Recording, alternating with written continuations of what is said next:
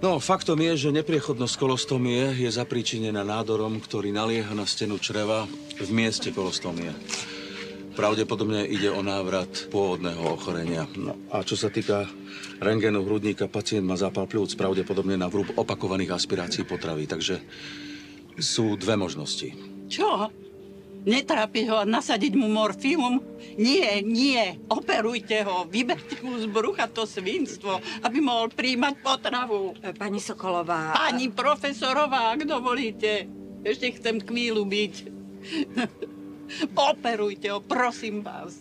Pani profesorová, váš pán manžel má pokročilú stareckú demenciu.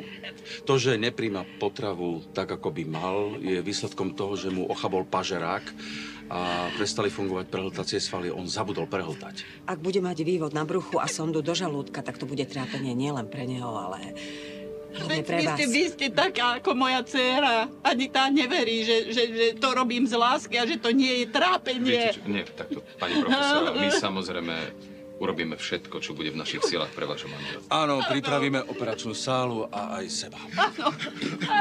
Zora, pomoc, Zora, Zora, Pomôžete mi s ňou, alebo tam budete stáť ako debil?